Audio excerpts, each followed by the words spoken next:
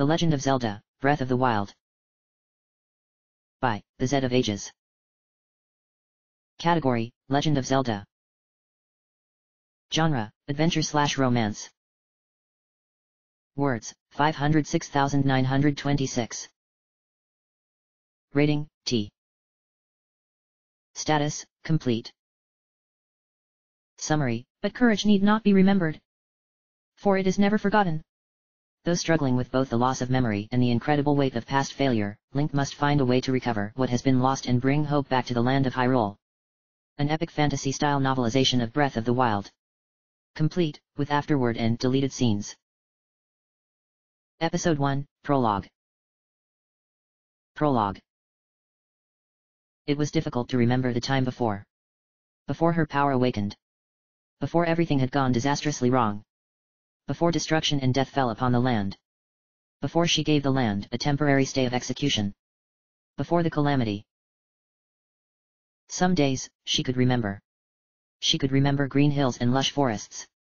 She could remember a black stone castle with spires reaching for the heavens, and small villages full of hard-working people. She could remember a beautiful, shimmering city resting upon pillars above the source of a great river, and she could remember homes built out of giant rocks surrounded by lava.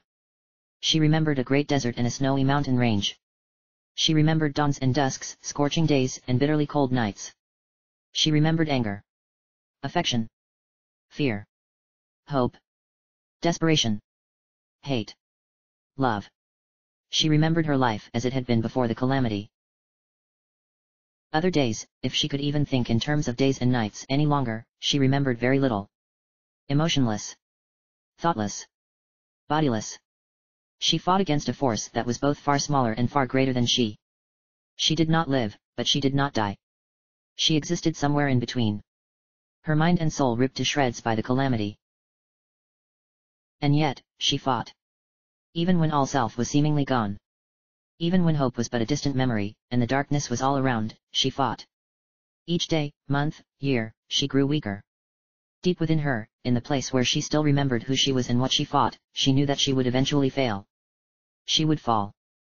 But until then, she would fight the calamity. 100 years. A lifetime for some. A fraction of a lifetime for others. An awareness of time blossomed into her broken mind as the sun slowly rose over the slopes of Death Mountain.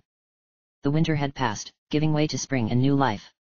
As the sun rose, she felt more aware of her shattered mind than most days.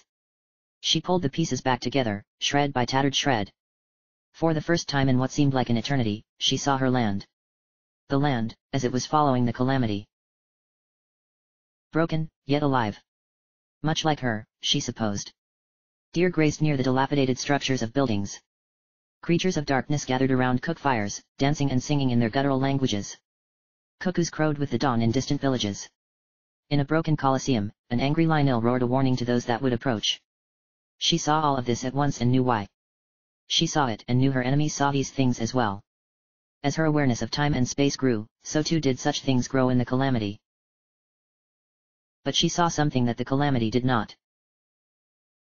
Far away, on a distant plateau, a man stirred within a chamber deep within a mountain. She saw this, and she remembered. She remembered her life before the calamity. She remembered who she was. She remembered why she fought. Most of all, she remembered the man named Link. End of chapter.